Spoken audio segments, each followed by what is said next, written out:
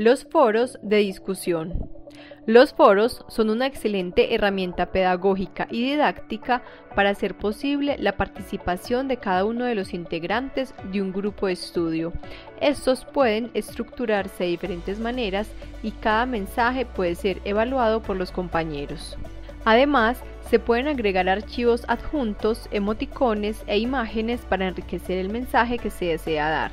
Al suscribirse a un foro, los participantes recibirán copias de cada mensaje en su buzón personal de correo electrónico. El profesor puede forzar desde la configuración del foro la suscripción a todos los integrantes del curso si así lo desea. Crear un foro. Veamos ahora cómo crear un foro. Los foros pueden ser usados para propiciar el debate entre los participantes, formativos, o para validar competencias, evaluativos. Para crear un foro se deben seguir los siguientes pasos. 1. Si la edición está desactivada, pulsar en Activar edición. 2. Decidir en qué tema o sección deseamos agregar el foro. 3. Hacer clic en Agregar actividad y después en Foro. 4. Rellenar el formulario. Comenzar con el nombre, tipo y descripción. El tipo de foro puede ser A. Debate sencillo. Solo existe un único tema y un único hilo de discusión.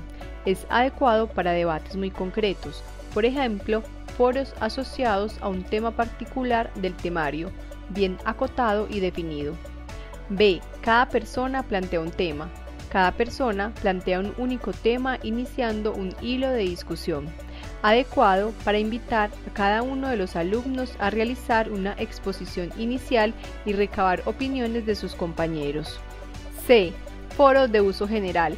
Permite múltiples discusiones sin restricción. Es lo más habitual. D. Foro de P y R. Preguntas y respuestas. Solo permite ver las respuestas de los demás participantes después de haber contestado.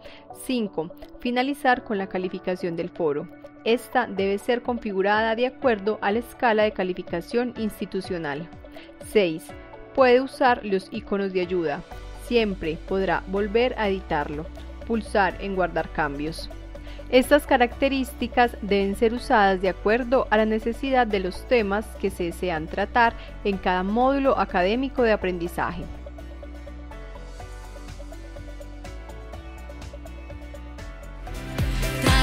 transformación, innovación.